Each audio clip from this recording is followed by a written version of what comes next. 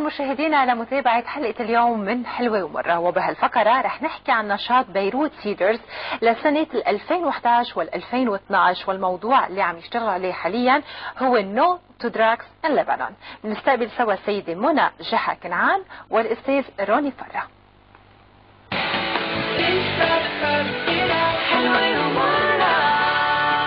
أهلا وسهلا فيكم. أهلا فيكي. أهلا فيكم. سيدة منى جحا كنعان حضرتك president of Rotary Club والأستاذ روني فرح حضرتك رئيس لجنة خدمة المجتمع بالمنطقة الروتانية روتارية 2450 بداية هالعنوان no to drugs in لبنان خبرينا مين بحب يخبرنا عنه؟ آه للحقيقة أنا هيدا الموضوع بس آه فت على الروتري وعرفت إنه الروتري بتهتم يعني بمواضيع اجتماعية وخصوصا آه الأشياء اللي بتكون البلد عاوزتها. هيدا الموضوع كتير كتير آه لفت لي نظري. آه أنا بتعاطى مع الجامعات على مجلس أمنا جامعة اللويزي وبالجامعه الأمريكية AUB. وبعرف قديش عم بيعانوا الاولاد. والشباب والشباب لبنان كلهم من هالمشكلة. والستاتستكس اللي صارت مؤخرا يعني الإحصاءات بتفرجي إنه العمر صغر اللي ببلشوا ياخذوا مخدرات العدد النسبة كت- كترت والبنات بلشوا ياخذوا يعني ثلاث أمور كتير آه، حساسة ومهمة. ومع ال- بقيه ال- الأعضاء بالنادي قررنا إنه السنة ناخذ هالموضوع آه، هون باهتمامنا. رح أسأل أستاذ فرة بما إنه قررتوا تاخذوا هذا الموضوع وصار في تواصل بين الجامعات مع الوزارات عم بيصير في أي تواصل آخر؟ مع الوزارات مع الجامعات ومع المدارس إحنا مع شيء متكامل يعني ما بنقدر نشتغل نعم. بدون ما يكون في عندنا دعم. من المؤسسات الرسمية نعم وهون بدي اوجه لكم للأي بي سي شكر لأنه وقت اللي حكيت أنا مع الشيخ بيير ظاهر الإعلام بالنسبة لنا كثير مهم وفرجوا ترحيب بالموضوع ورح تكونوا عم بتساعدونا وتساندونا يعني إذا الله راد رح نخلق يعني نعم نخلق توعية للأهل والطلاب المدارس والمجتمع ككل نعم. وبنتأمل إنه ال- المؤسسات الدولة ت- نعم. تتعاطف معنا وتتعاون أكيد. معنا بس رح يصير في تعاون بين مختلف أندية الروتارية إحنا دائما بنبلش بنادي وبعدين من بنكمل المشروع نعم. مع ال 24 نادي الموجودين بلبنان كيف بيصير هذا التعاون؟ مثلا على القضية ذاتها. أخذنا من ثلاث سنين مشروع تشجير لبنان مليون شجرة ضمن عشر سنين وبلشوا نادي وبعدين بقيه الأندية بلشت تعمل تشجير حملة تشجير السنة الماضية بلشنا حملة ف- فلاتر المياه بالمدارس الرسمية وعملنا 50 مدرسة بالجنوب ورجعت بقية الأندية تبنت هالمشاريع وهي كمان بمناطقها عم تعمل مشاريع فلترة مياه المدارس الرسمية. أكيد. وكذلك نحن هلا بدنا نبلش آه، نفرجي آه، شو هو الخطة اللي بدنا نحطها لمساعدة آه،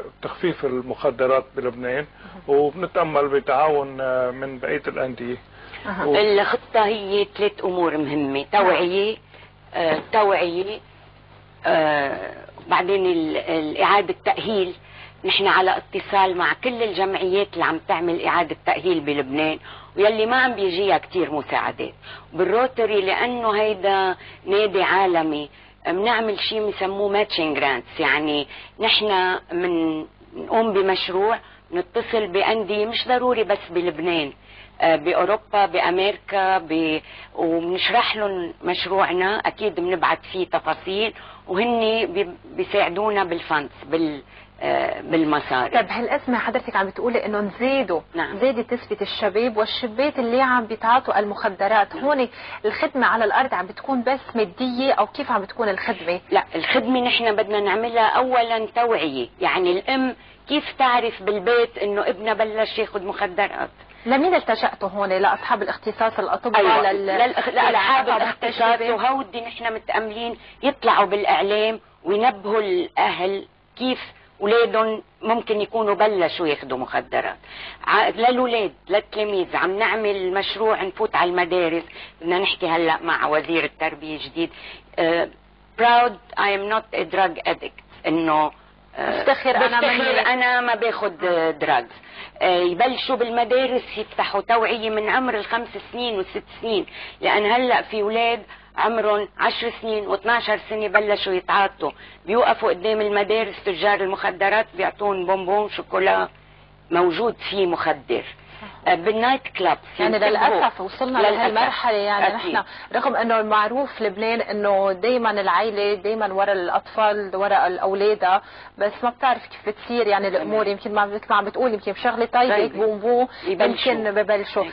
أستاذ فرة هون بدي أعرف أنا آه، رح يصير في ندوات مثل ما سبق وذكرت وقالت قالت رح يكون في أصحاب اختصاص رح تستعينوا أيضا بأصحاب التجربة يلي خاضوا تجربة المخدرات. وشفيوا منها؟ أكيد ما في شك منا إنه بدنا نجيب ناس ظهروا من هالآفة ال- تعاطي المخدرات ويفرجوا تجربتهم المرة كيف تعذبوا آه، وقت اللي كانوا عم بياخذوا وكيف خلصوا منها وكيف بينصحوا الباقيين إنه ما يبلشوا فيها. آه، في ال Père علاوي عنده المؤسسة Bonheur du Ciel جاب لعنا على النادي أربعة من شبابه وحكيوا آه، كيف آه، تعاطوا كيف آه، نطفوا وحكيوا واحد منهم قال أنا بعت جرة الغاز عند أمي بالبيت فقدرت أخذت يعني واحد الفلوس. بينصح يعني. ما بيعود بصير يسرق بصير آه، يمكن يقتل بصير مشان يأمن آه، نعم. كمية المخدرات اللي نعم. بده ياخذها يعني موضوع فعلا حساس وموضوع جريء جدا. يعني بتمنى إذا بيلتغى أصلا المخدرات مش بس بلبنان بالعالم, بالعالم كله. وأكيد كلنا حنكون مبسوطين. فإن شاء الله تنمحى هال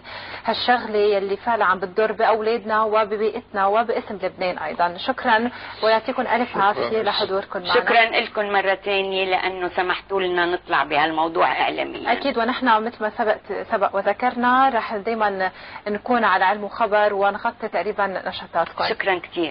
مشاهدينا قبل ما نتوقف مع بريك اعلاني بدي أذكر كل مشاهد عنده مشكله صحيه أو مشاكل جنسية فيبعث لنا رسالة على لازم تعرف @lbcgroup.tv بريك ومن بعده بنتابع حلقتنا